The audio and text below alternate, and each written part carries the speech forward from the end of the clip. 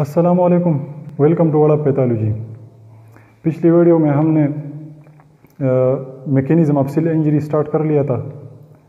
हमने एक general overview देख लिया था और हमने कुछ general principles related to mechanism of cell injury discuss कर लिए थे। अगर आपको वो वीडियो चाहिए तो उसकी लिंक डिस्क्रिप्शन बॉक्स में मौजूद है। आज हम उसी को कंटिन्यू करते हुए mechanism of cell injury part two में हम कुछ जन कुछ मैकेनिज़म्स हम डिटेल में डिस्कस करेंगे। तो चलिए स्टार्ट करते हैं। सबसे पहले माइटोकॉन्ड्रियल डैमेज माइटोकॉन्ड्रिया हम सबको पता है कि माइटोकॉन्ड्रिया एक ऐसा ऑर्गेनिल है जो सेल को एनर्जी प्रोवाइड करती है in the form of ATP through cellular respiration energy को न्यूट्रेंट से एनर्जी एक्सट्रैक्ट करते हैं। और एटीपी बनाते हैं जो सेल के डिफरेंट फ़ंक्शंस में यूज़ होती है ATP this is cellular respiration glucose combines O O2 and gives us CO2, H2O, H2O and ATP. ATP is energy rich molecule ये हम सेल्स सेल्स के डिफरेंट फ़ंक्शंस में एटीपी यूज़ होता है। तो अगर माइटोकॉन्ड्रिया का डैमेज हो जाए माइटोकॉन्ड्रिया कोई, को कोई डैमेज हो जाए तो क्या होगा? सबसे पहले तो एटीपी नहीं बनेगी, क्योंकि ये माइटोकॉन्ड्रिया में ये रिएक्शन हो जाता है और जिसकी वजह से एटीपी बनते हैं।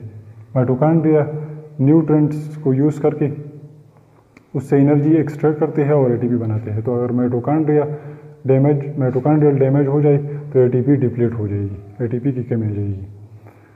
फिर formation of reactive oxygen species R O S reactive oxygen species इसको भी हम डिटेल में डिस्कस करेंगे। रिएक्टिव ऑक्सीजन स्पीशीज़ यहाँ पर जो एच टू ओ बनता है माइटोकॉन्ड्रिया में during electron transport chain oxygen molecular oxygen के साथ फोर इलेक्ट्रॉन्स और फोर हाइड्रोजन कंबाइन होके एच टू ओ बनते हैं।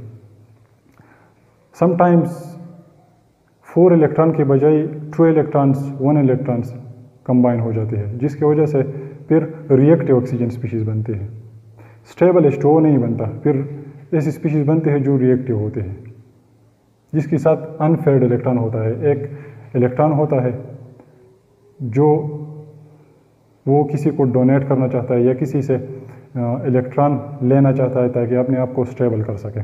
तो ऐसी रिएक्टिव स्पीशीज़ को हम रिएक्टिव ऑक्सीजन स्पीशीज़ तो माइटोकॉन्ड्रियल डैमेज की वजह से रिएक्टिव ऑक्सीजन स्पीशीज़ भी बनेगी। इसको डिटेल में भी डिस्कस करेंगे। Mitochondrial permeability transition pore mitochondrial damage की वजह से माइटोकॉन्ड्रियल मेम्ब्रेन पोटेंशियल भी डिस्टर्ब हो सकता है। अगर मेम्ब्रेन में डैमेज आ जाए माइटोकॉन्ड्रिया माइटोकॉन्ड्रियल इनर मेम्ब्रेन में एक प्रोटीन है, एक चैनल है, जो नॉर्मली क्लोज रहता है। लेकिन during mitochondrial damage for example अगर कैल्शियम एकमुलेट हो जाए तो कैल्शियम एकमुलेशन की वजह से वो चैनल ओपन हो जाता है, जिसकी वजह से माइटोकॉन्ड्रियल जो मेम्ब्रेन पोटेंशियल है माइटोकॉन्ड्रिया की मेम्ब्रेन का जो एक पोटेंशियल है, वो डिस्टर्ब हो जाता है। इसको भी डिटेल में डिस्कस करेंगे और लास्ट में क्या है, अगर माइटोकॉन्ड्रिया में माइटोकॉन्ड्रियल डैमेज हो जाए तो कुछ प्रोटीन्स माइटोकॉन्ड्रिया से बाहर आ जाएगी। ऐसी प्रोटीन्स होगी जो एपोप्टोसिस को स्टिमुलेट करता है। साइटोप्लाज्म में आएगी और एपोप्टोसिस को स्टिमुलेट करेगी, जैसे कि साइटोक्रोम सी एक प्रोटीन है। साइटोक्रोम सी ये अगर माइटोकॉन्ड्रिया से बाहर आ जाए साइटोप्लाज्म में तो ये एपोप्टोसिस को स्टिमुलेट कर लेता है। तो फिर प्रोग्राम्ड सेल डेथ हो जाता है सेल की डेथ हो जाती है। ये हमारा पहला मैकेनिज़्म था सेल इंजरी का। अब आते हैं दूसरे मैकेनिज़्म पे। एटीपी डिप्लीशन एटीपी डिप्लीशन को हमने यहाँ पर भी डिस्कस कर लिया है। एटीपी डिप्लीशन का एक काज माइटोकॉन्ड्रियल डैमेज भी हो सकता है कि माइटोकॉन्ड्रिया में अगर डैमेज हो जाए तो क्योंकि एटीपी तो माइटोकॉन्ड्रिया बनाती है तो फिर एटीपी नहीं बनेगी। तो एक काज इसका माइटोकॉन्ड्रियल डैमेज भी है। माइटोकॉन्ड्रियल डैमेज एटीपी डिप्लीशन का। लेकिन इसके अलावा और काजेज भी है इसके। टॉक्सिन से भी हो सकता है एटीपी डिप्लीशन और ischemia ischemia mean loss of blood supply अगर ब्लड सप्लाई लॉस हो जाती है, किसी आर्गन को, किसी टिश्यूज़ में अगर किसी ब्लड वेसल में ब्लॉकेज हो जाती है, जिसकी वजह से ब्लड सप्लाई लॉस हो जाती है। ब्लड सप्लाई लॉस हो जाती है तो चूँकि ऑक्सीजन और न्यूट्रेंट्स ब्लड में आती है, और सेल्स को सेल्स ब्लड से ऑक्सीजन और न्यूट्रेंट्स लेती है, और फिर ऑक्सीजन और न्यूट्रेंट्स को कंबाइन करके उससे एटीपी एक्सट्रैक्ट कर लेते हैं। तो अगर इस स्कीमिया हो जाए तो फिर न्यूट्रेंट्स और ऑक्सीजन नहीं होगी। तो फिर ऑक्सीडेटिव पास्पुरिलेशन ये कम हो जाएगी। ऑक्सीडेटिव पास्पुरिलेशन क्या है? कि सिल या माइटोकॉन्ड्रिया न्यूट्रेंट्स को न्यूट्रेंट से एनर्जी एक्सट्रैक्ट करती है। न्यूट्रेंट से एनर्जी एक्सट्रैक्ट करते हैं और एटीपी बनाते हैं। इसको हम ऑक्सीडेटिव पास्पुरिलेशन कहते हैं। ऑक्सीडेटिव पास्पुरिलेशन कम हो जाएगी तो एटीपी डिप्लीट हो जाएगी, इसकी कमी हो जाएगी। अब एटीपी जो है, ये सेल में डिफरेंट फ़ंक्शंस परफॉर्म करती है। हमें पता है कि एटीपी सेल्स एटीपी को यूज़ कर, करता है अपने डिफरेंट फ़ंक्शंस परफॉर्म करने के लिए। तो अगर एटीपी डिप्लीट हो, अगर एटीपी डिप्लीट हो जाए तो इसकी वजह से फिर सेल्स में डिफरेंट एबनॉर्मिटीज आ सकती है। जैसे कि सबसे पहले है एन ए पम्प इनएक्टिव हो जाएगी, ये अपना काम छोड़ देगी। N A pump N A plus pump N A plus pump का काम क्या है? कि ये सोडियम को पंप कर लेता है। सोडियम को सिल के आउटसाइड सिल पंप कर लेता है और पोटाशियम को सिल के अंदर ले आता है। सो पंप का क्या पंप वो होता है सिल मेम्ब्रेन में डिफरेंट पंप होते हैं। पंप का काम क्या है कि हाई लो कंसनट्रेशन से किसी चीज़ को हाई कंसंट्रेशन में लाना। नॉर्मली तो हम यही कहते हैं कि आ, कोई चीज़ हाई कंसनट्रेशन से लो कंसनट्रेशन में चली जाती है। नॉर्मली ये होता है। इस उसमें एनर्जी की एनर्जी की ज़रूरत नहीं होती। जैसे कि अगर फॉर एग्जांपल मैं डेली लाइफ में एग्जांपल दे दूँ कि वाटर हाई कंसनट्रेशन से हाइट से नीचे चली जाती है। उसमें कोई एनर्जी की ज़रूरत नहीं होती। लेकिन अगर आप वाटर को नीचे से ऊपर ले आना चाहते हो तो उसके लिए फिर एनर्जी चाहिए होती है। आप कुछ वाटर को मोटर लगाएँगे या कुछ ऐसा करेंगे कि वाटर ऊपर आ जाए। तो इस तरह यहाँ पर भी जो पंप है इसके लिए एनर्जी की ज़रूरत होती है कि ये आ, किसी लो कंसंट्रेशन से किसी चीज़ को हाई कंसंट्रेशन तो आउटसाइड सिल सिल की बाहर एन की कंसंट्रेशन लो होती है। पंप क्या करता है कि ये सोडियम को सिल के बाहर से अंदर ले आता है। और पोटाशियम को, पोटाशियम की कंसनट्रेशन सिल के अंदर लो होती है तो पोटाशियम को सेल के अंदर से बाहर को पंप कर लेता है। तो इसकी वजह से फिर एक पोटेंशियल एक पोटेंशियल क्रिएट हो जाता है। तो अगर एटीपी नहीं होगी, क्योंकि ये एटीपी यूज़ करता है एन को पंप करने के लिए, क्योंकि लो कंस हाई कंसनट्रेशन से सॉरी लो कंसनट्रेशन से हाई कंसनट्रेशन के लिए किसी चीज़ को मूव करने के लिए एटीपी की ज़रूरत होती है तो एटीपी अगर नहीं होगी तो ये पम्प अपना काम छोड़ देगी एन ए प्लस पम्प तो influx of C A two plus H two O and N A plus N A plus और सी ए प्लस ये अंदर आ जाएगी सिल की, क्योंकि अगर पंप अपना काम छोड़ दे तो फिर क्योंकि एन ए प्लस की कंसनट्रेशन सिल की बाहर ज़्यादा है। Outside cell N A plus की कंसनट्रेशन ज़्यादा है तो फिर वो खुद ब खुद अंदर आ जाएगी। क्योंकि इन्हें, क्योंकि पंप अगर अपना काम छोड़ दे तो फिर ये के एन ए प्लस खुद ब खुद अंदर और के प्लस की कंसनट्रेशन जो मैंने कहा कि इसकी कंसनट्रेशन सिल के अंदर ज़्यादा होती है।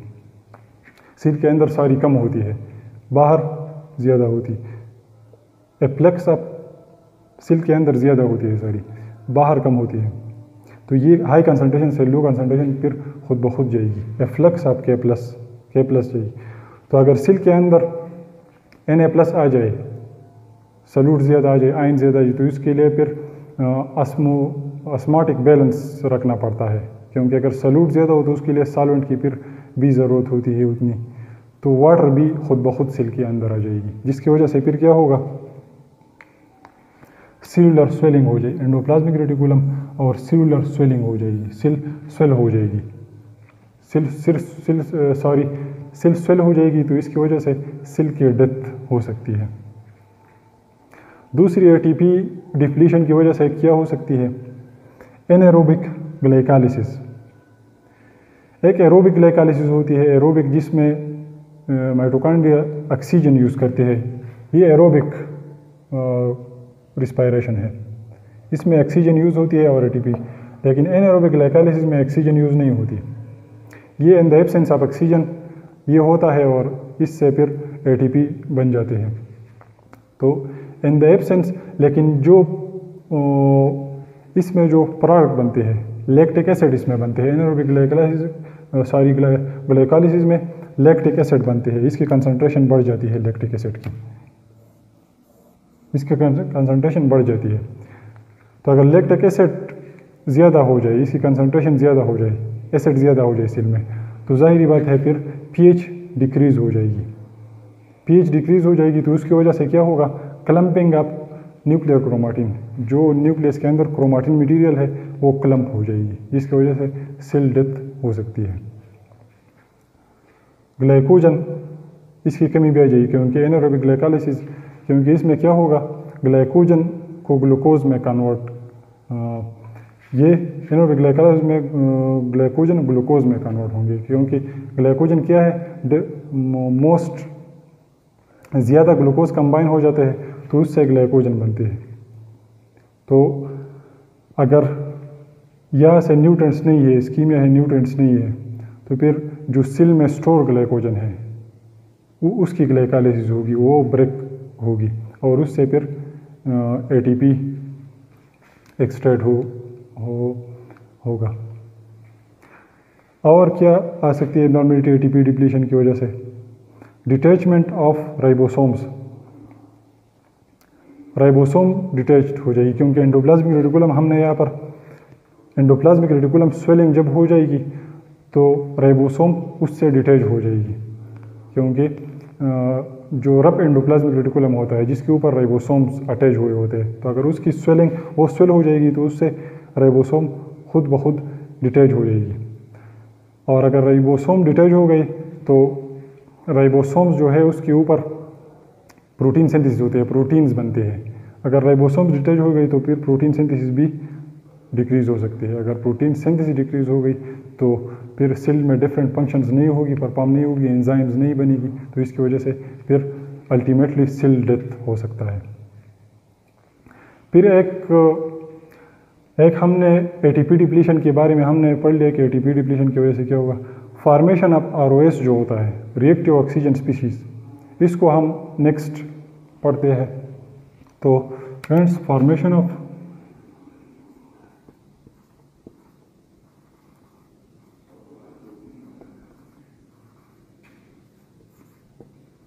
R O S ये इसको हम रिएक्टिव ऑक्सीजन स्पीशीज बोलते हैं आर ओ एस क्या है रिएक्टिव ऑक्सीजन स्पीशीज है? Formation of R R accumulation of free radical ये इसको प्री रेडिकल भी कह सकते हैं। फ्री रेडिकल नॉर्मली क्या होता है कि जो एच बनते हैं नॉर्मली एच कैसे बनते हैं कि O2 के साथ।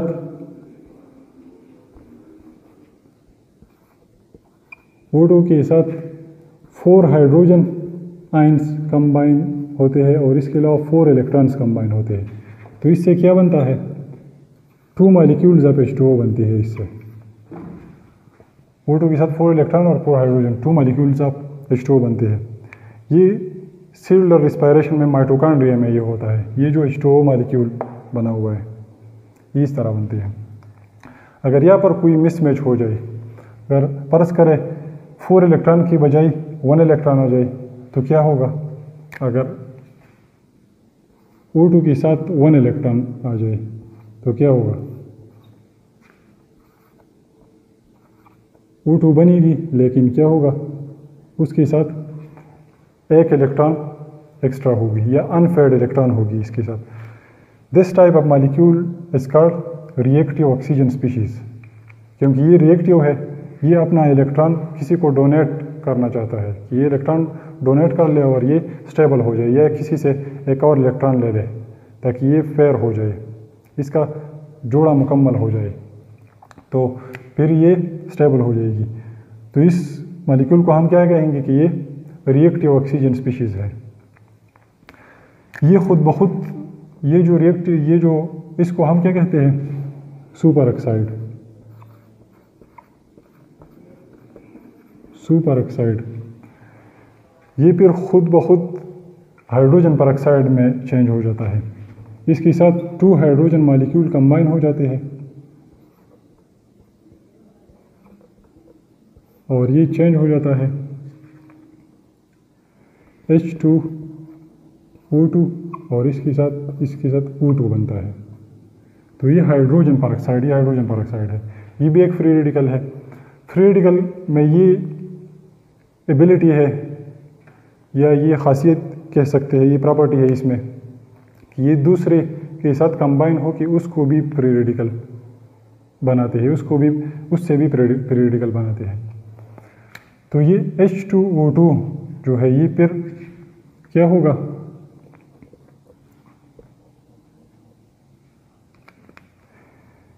या पार्शली या तो ये पार्शली रिड्यूस हो जाएगा, या फुली इससे वाटर बनेगी, उसमें रिड्यूस हो जाएगा। H two O two partially कैसे रिड्यूस होता है कि इससे ओ OH बनते हैं?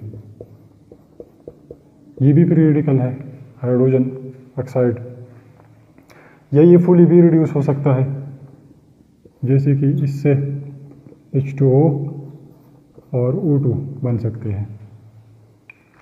तो ये सारे जो है सुपर ऑक्साइड पर ऑक्साइड और ओ OH इसको हम रिएक्टिव ऑक्सीजन स्पीशीज़ कहते हैं। ये रिएक्टिव ऑक्सीजन स्पीशीज़ है। अब ये जीनरेट कैसे होते हैं? इसकी जीनरेशन कैसे होती है? इसको डिस्कस करते हैं हम थोड़ा। इसकी जीनरेशन कैसी होती है? Generation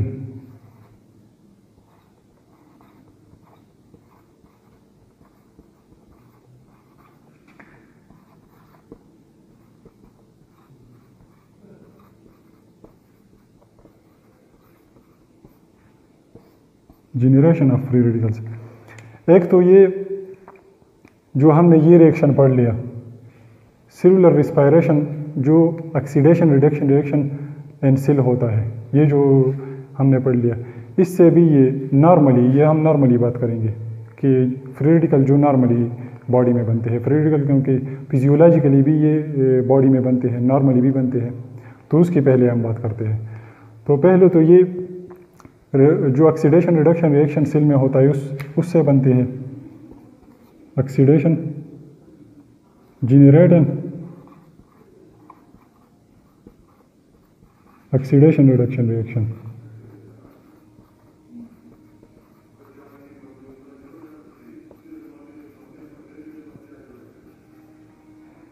Reaction और दूसरा ऑक्सीडेशन रिडक्शन रिएक्शन जो मैंने अभी आपको बताया कि मिसमैच हो जाता है इलेक्ट्रॉन्स अगर तो ये नॉर्मल भी हो सकते हैं सिल में। नॉर्मली भी कभी ऐसा होता है कि इलेक्ट्रॉन ट्रांसपोर्ट चेन में जो एच बनता है, उसमें मिसमैच हो जाता है। फोर इलेक्ट्रॉन के बजाय वन इलेक्ट्रॉन और टू इलेक्ट्रॉन कंबाइन होते हैं उसके साथ मिसमैच हो जाता है। तो उससे फ्री रेडिकल बनते हैं नॉर्मली बनते हैं आरओएस इसके अलावा नॉर्मली ये किधर बनते हैं? ये पेगोसाइट्स जो है, हमारे पास जो न्यूट्रोफिल्स है और मैक्रोपेजेस है। जब वो पेगोसाइटोसिस करते हैं तो जो पारन एजेंट्स है, उसको रिमूव करने के लिए उसके अंदर आरओएस बनते हैं। जैसे कि, फॉर एग्जांपल, ये हमारे पास एक पेगोसाइट है। ये एक पेगोसाइट है हमारे पास फ़र्ज़ करें। मैक्रोपेज कह सकते हैं या न्यूट्रोपिल कह सकते हैं। ये पेगोसाइट तो नहीं, लेकिन पेगोसाइट जो किसी चीज़ को इनगल्फ कर लेता है। जब माइक्रोपेज जब वायरस और बैक्टीरिया कोई चीज़ आ जाता है तो माइक्रोपेज उसको इनगल्फ कर लेता है। तो एक उसके अंदर एक एक वायरस के गिर्द एक होल बनता है। उसको हम पेगोसोम बोलते हैं। ये वही पेगोसोम है। पेगोसोम के अंदर क्या होगा कि दिस टाइप ऑफ़ रिएक्शन के also takes place in phagosome जो ऑक्सीडेशन रिडक्शन रिएक्शन है, उस जैसा रिएक्शन पेगोसोम में भी होता है कि एन ए डी एच ये अपना ओ टू को हाइड्रोजन और इलेक्ट्रॉन डोनेट कर लेता है ओ टू को। तो क्या होगा? ओ टू से ओ टू जो हमने यहाँ पर डिस्कस कर लिया कि प्री कैसे बनते हैं तो इलेक्ट्रॉन के साथ कंबाइन होके, अगर फोर से कम इलेक्ट्रॉन उसके साथ कंबाइन होके बनते हैं। तो यहाँ पर N E D H O two को इलेक्ट्रॉन डोनेट कर लेता है तो क्या होता है? वही प्री रेडिकल सुपर ऑक्साइड का प्री रेडिकल बनते हैं। ठीक है? फिर इससे क्या होगा ओ टू से? ये O two H two O two में भी खुद ब खुद चेंज हो सकता है और इसके अलावा ये H O C L hypochlorous oxide इसमें भी ये चेंज हो सकता है। ये सारी पीरियडिकल है, ये भी पीरियडिकल है, ये भी।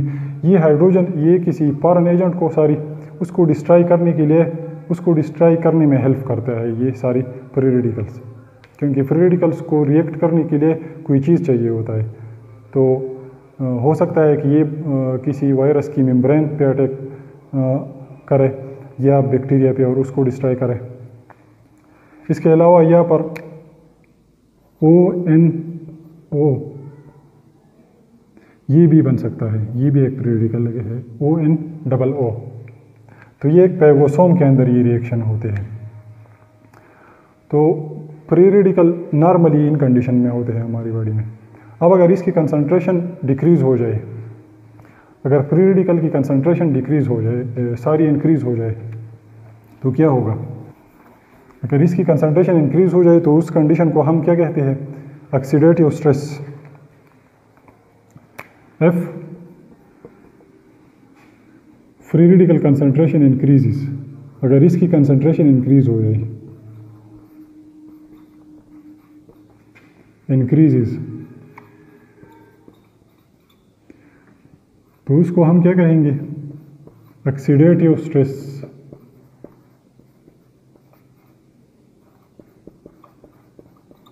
ऑक्सीडेटिव स्ट्रेस हम उसको कहते हैं। किन कंडीशन में ये पीरियडिकल क्या होता है, जिसकी वजह से पीरियडिकल की कंसंट्रेशन इंक्रीज होती है? तो ये रेडिएशन की वजह से हो सकता है। रेडिएशन जैसे कि अल्ट्रावायलेट रेडिएशन है for example UV radiation UV radiation क्या कर सकता है कि एच टू ओ को पीरियडिकल में कन्वर्ट कर सकता है। जैसे कि अगर यूवी रेडिएशन आ जाए तो एच टू ओ को ब्रेक कर सकता है। एच और ओ एच आइन उससे बना सकते हैं। तो ये भी इससे पीरियडिकल बना सकते हैं। तो ये भी फिर डैमेजिंग इफ़ेक्ट सिल में कर सकते हैं। इसके अलावा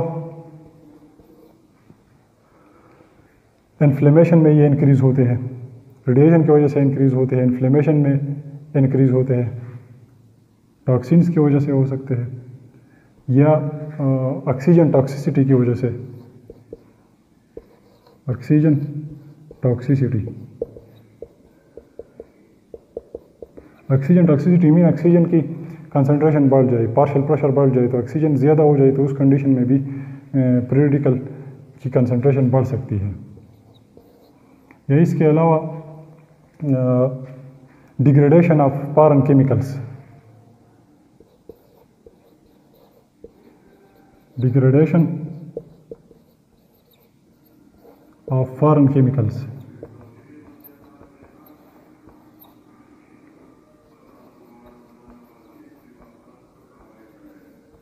Foreign chemicals की अगर डिग्रेडेशन हो जाए कर ले। For example C C L four है। C C L four chloroform हम इसको बोलते हैं। इसकी अगर डिग्रेडेशन कर ले तो इससे क्या होगा?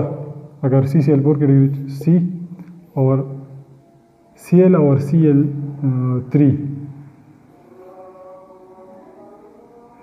तो ये भी सी एल थ्री जो है, ये भी एक फ्री रेडिकल है तो ये भी डैमेजिंग इफ़ेक्ट कर सकते हैं।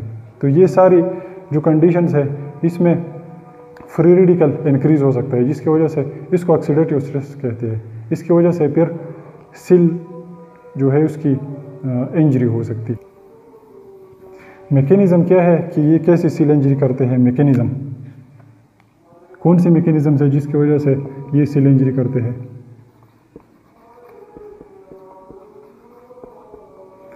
मेकेनिज़म्स में इसका सबसे पहले है कि ये लिपिड्स लिपिड्स के जो है उसकी पर ऑक्सीडेशन करते हैं। लिपिड सबसे पहले लिपिड पर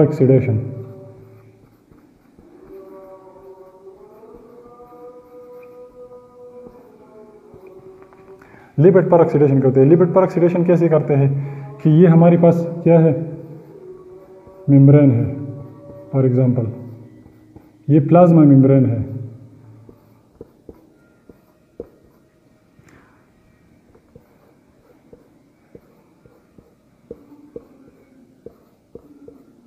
फॉर एग्जांपल ये प्लाज्मा मेम्ब्रेन है। तो क्योंकि प्री रेडिकल के साथ एक फ्री इलेक्ट्रॉन होता है, एक अनफेड इलेक्ट्रॉन होता है। ये चाहता है कि ये किसी को डोनेट करे या किसी से एक और इलेक्ट्रॉन एक्सेप्ट कर ले ताकि ये स्टेबल हो जाए। तो फ्री रेडिकल आके जैसे अगर ओ OH आया ओ OH लिपिड पे अटैक करेंगे तो इसको इलेक्ट्रॉन डोनेट करेंगे तो ये लिपिड भी फ्री रेडिकल बन जाएगा। तो ये क्या करेंगे? अपने आप को स्टेबल करे करने के लिए ये दूसरी लिपिड में ये डोनेट करेंगे इलेक्ट्रॉन फिर वो लिपिड अपने आप को स्टेबल रखने के लिए तीसरी लिपिड में क्या करेंगे? उस, उसको इलेक्ट्रॉन को डोनेट करेंगे। तो इस वजह से एक चेन रिएक्शन हो जाएगा और मेम्ब्रेन की जो फर्मेबिलिटी है या मेम्ब्रेन का स्ट्रक्चर डिस्टर्ब हो जाएगा, जिसकी वजह से फिर बाहर से different type of substances cell के अंदर आ जाएगी। क्या होगा? तो इसकी वजह से सेलुलर स्वेलिंग या सेल निक्रोसिस सेल डेथ इसकी वजह से हो सकती है। तो एक लिपिड पर ऑक्सीडेशन हमारे पास था। इसके इसके अलावा मैकेनिज़म्स में ये डीएनए डैमेज भी कर सकता है। DNA damage